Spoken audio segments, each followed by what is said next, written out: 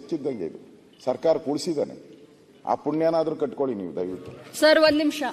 Sir ಅವರ ಕಾಳಜಿಯನ್ನ ನಾವು ಮೆಚ್ತೀವಿ. ನಿಜವಾಗ್ಲೂ ಬಹಳ ಹೃದಯವಂತರು. ಸರ್ ಇದೇ ರೀತಿ ಘಟನೆ ಸಂತೋಷ್ ಪಾಟೀಲ್ ಅಂತ ನನ್ನ ಕ್ಷೇತ್ರದವ್ರು. ಅವರು ಕೂಡ ನೀವು ವಿಚಾರಕ್ಕೆ ಸಂಬಂಧಪಟ್ಟಂಗೆ ಮಾತಾಡಿ, ಈ ವಿಚಾರಕ್ಕೆ. ಅವರ ಹೆಂಡತಿಗೆ ಅವರ ಧರ್ಮ ಪತ್ನಿಗೆ ಅವಾಗ ನಮ್ಮ ಅಧ್ಯಕ್ಷರು ಮತ್ತು ಮುಖ್ಯಮಂತ್ರಿಗಳು ನಮ್ಮ ಪಕ್ಷದಿಂದ ಸಹಾಯ ಆದ್ರೆ ಈಗ. ಈಗ ತೋರಿಸ್ತಾ ಪಾಟೀಲ್ ಅವರ ಧರ್ಮ ಪತ್ನಿ ಬಗ್ಗೆ ಹೇಳಿದ್ರಲ್ಲ. ಮೇಡಮ್ ನಾನು ಹೇಳೋದು ಮುಂದುವರಿಸಿ ಈಗ ಅದಕ್ಕೆ ಒಂದು ಮುಂದುವರಿಸಿ. ಬೇರೆ ಬೇರೆ ಉದಾಹರಣೆಗಳನ್ನ ಕೊಟ್ಟು ಇದನ್ನ ಸಮರ್ಥಿಸ್ಕೊಳಕ್ ಬರಬೇಡಿ. ನಿಮ್ಗೆ ತಾಪತ್ರ ನಿಮ್ಗೆ? ಅಡ್ವಾನ್ಸ್ ಈ ಆಗುತ್ತೆ. ನಿಮ್ಗೆ ಅಡ್ವಾನ್ಸ್ ಆಗುತ್ತೆ ಇದು. ದಲಿತರ ವಿಚಾರ ಇದು.